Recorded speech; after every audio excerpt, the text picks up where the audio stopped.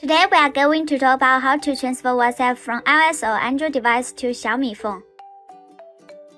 It takes four steps in this video. Firstly, start Syncios on your computer. Here you can see various Syncios tools. Among all Syncios tools, navigate to WhatsApp Transfer. For most, Backup WhatsApp, Restore WhatsApp from Syncios Backup, Restore WhatsApp from iTunes Backup, and Transfer WhatsApp between devices.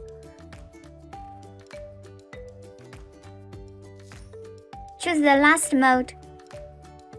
Firstly, backup the source device.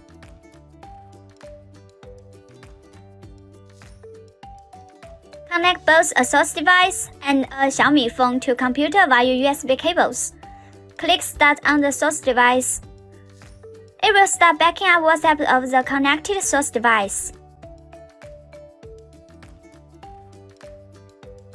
Tap View to check the new created backup and restore it to your Xiaomi phone. If you want to finish this job later, you can close Syncios then on the main interface, choose Restore WhatsApp from local backup mode when you reopen Syncios.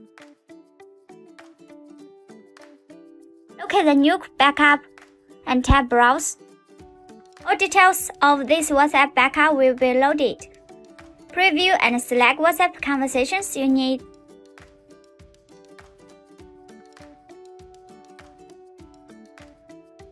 Meanwhile, you can check WhatsApp photos and videos here. After the selection, just tap Recover to device.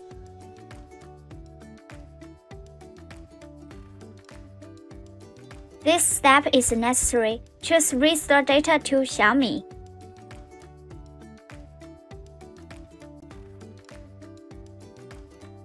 Finally, click Recover to launch the transfer. If you need a WhatsApp backup to Xiaomi phone, do it now then restore the backup to it. Do not disconnect your phone, it just takes a while. Now it's done, open WhatsApp on your Xiaomi phone.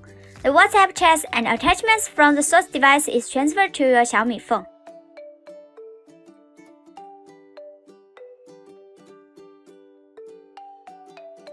All WhatsApp conversations are displayed as original format in WhatsApp application on Xiaomi phone.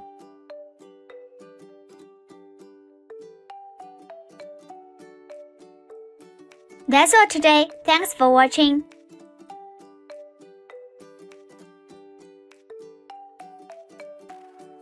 If you like our mobile tips, go to the right corner, subscribe us right now.